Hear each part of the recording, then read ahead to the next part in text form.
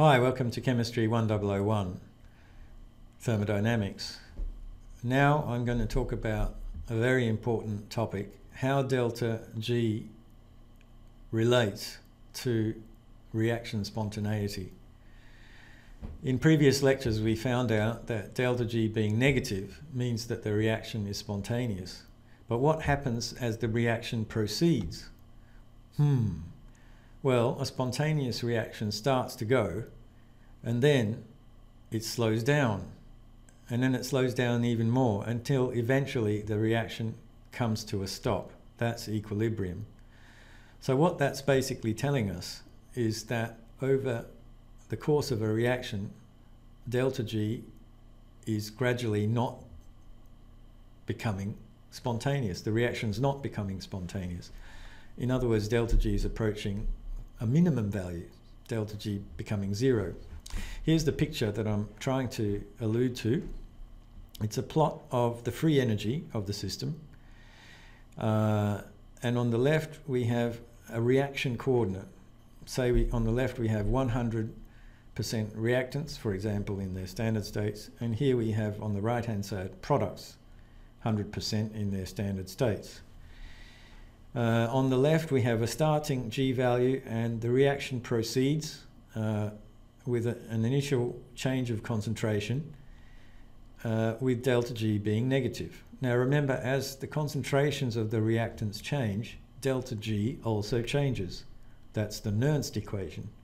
Delta G equals delta G naught plus RT ln Q. But we're trying to motivate that equation. So here, delta G is decreasing, decreasing, decreasing until perhaps here at this midpoint, we have roughly a reaction quotient of 1, maybe more or less equal reactants and products. But the reaction keeps going in this case. It, delta G or G uh, keeps decreasing until no more reaction occurs. At this point, delta G can't decrease anymore. This is the equilibrium point. That's obviously what it is. So at this point, uh, we must have the, the reaction quotient uh, Q equals K, because that's what happens at equilibrium, if you remember your equilibrium lectures. Likewise, if we start with 100% products in their standard states, those products react backwards towards the equilibrium point until we have some reactants. Again, we reach equilibrium. So that's what's happening with this delta G graph uh, with this uh, free energy graph here.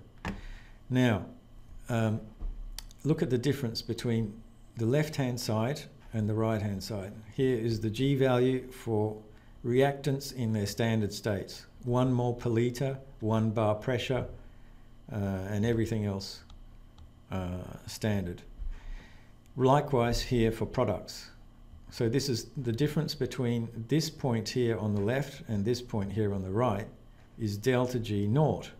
That is the, dif the difference between uh, uh, reactants, sorry, the difference between the right-hand side and the left-hand side is the difference between products in their standard states and reactants in their standard states. In this case, it's a exergonic reaction, meaning delta G is less than zero. Delta G is related to the endpoints. It's not related to the drop in delta G coming from uh, the 100% products to the equilibrium point. Uh, this point is coming from the change in the concentrations of the substances away from their standard conditions to the equilibrium conditions.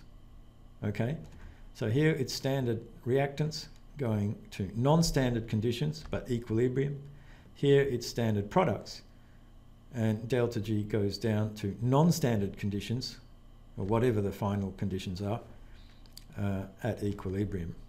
And this is obviously a product favoured reactant, uh, reaction because Q uh, is bigger than 1, so the reaction equilibrium lies towards the products. But we can consider a reverse reaction, exactly the same, where uh, the reaction proceeds from products, but uh, doesn't go very near towards the products, it stays near the reactants. So this is a case where Q uh, equals K, but at this point K is less than 1. I'm sorry, I should have said in the previous case, uh, Q is bigger than 1, and here Q is less than 1.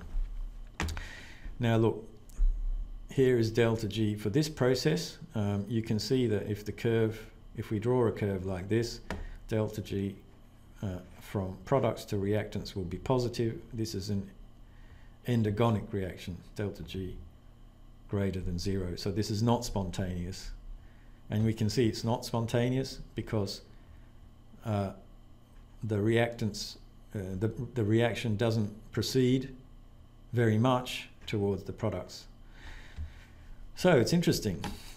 Uh, delta G positive doesn't uh, mean to say that the reaction uh, won't happen. It just says that moving from standard reactants to standard condition reactants to standard condition products, that will never happen. That's delta G positive.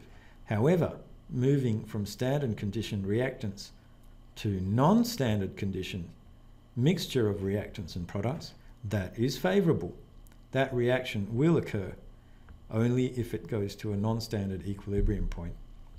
So be careful when you talk about delta G naught not being positive, you're talking about standard conditions going to standard, not standard going to non-standard, which is the normal case. I hope you understood that.